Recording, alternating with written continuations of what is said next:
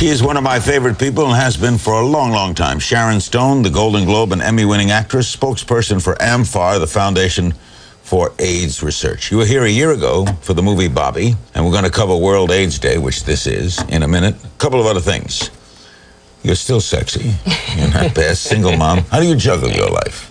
Movies, mother, children. Well, you know, like uh, all women, I think, we're just sort of born to it. I'm very lucky with my three kids, and that I've been in the movie business for so long, and that I've been able to use my fame for such great things. I'm lucky, and I'm in my 12th year with the American Foundation for AIDS Research, now the Global Foundation for AIDS Research. I remember. Playboy named you among the 25 sexiest stars of the century.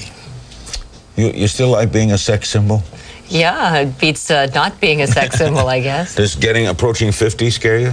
You know, it did. I had a I had a couple of weeks where I thought, Jesus, that's a big number. And then, you know, I started feeling really great about it, excited about it, and kind of well, it's kind of a luminous uh, thing. It's uh, exciting now. And your love life, how's it going? It's not so bad. Want to tell us? No, I don't. But you, you obviously, with that look, you like there's someone special. Yeah, kinda. Okay. We have an email question from Francis in Lawndale, California. Would you say that you have successfully balanced your priorities between raising kids, making movies, and helping the research to cure AIDS? Um, yes, I think so. I do because I think that the the main thing that happens when you have kids is that it adjusts the way you look at the world overall, and I think it makes you feel very involved in the world in a, in a new way, and it opens your heart very differently. It makes you really see the future differently and want the world to be a better place for your kids. Movies in the works? Yes, I have just been approved to direct a movie. No kidding. Yes, so I'm very excited about that. What about being in a movie? I'm going to be in that movie. In the movie And I have a couple of independent movies come out, one that's just been accepted at Sundance, so we're very excited about that. Now let's get to the subject at hand. This is the year anniversary of um, uh, World this AIDS is World Day. AIDS Day. Why'd you get involved? In fact, the very first time that I worked with AMFAR, I was in Cannes at the film festival in the south of France with a film I had there that was closing the festival, The Quick and the Dead. Oh. And um, that uh, they came to me, the people at AMFAR, and said that Elizabeth Taylor was going to be unable to attend the event, and would I step in for her? Which it's a little bit daunting when someone says, "Can you fill in for Elizabeth Taylor?"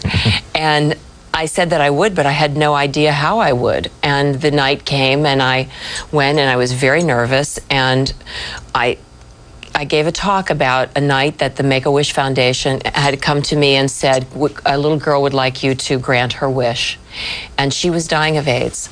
And I granted her wish, and I talked about that that night in Cannes, and people were very moved. And several days later, Dr. Krim, who heads the AMFAR, said, "Do you think you would take a position uh, for us for three years?" And I took the position for three years, thinking, in these three years, I'm really going to get something done. We have an email from Jessica in Springtown, Texas. What do you feel is the most rewarding thing about fighting to stop AIDS? Sharon? for me, it's seeing that where we went from even just when I started 12 years ago, where people were really silenced by shame, where families would uh, s- the people that next to them, and where people wouldn't touch each other and talk to each other. People are really communicating, loving each other, stepping forward. It's a very much talked about. Uh, out, it's out in the light, where even uh, politically now people are talking about it. It's something we can talk about on your show. It's something that people can say, I have AIDS, I know someone with AIDS, someone in my family has AIDS. It's something we, we just say the words now.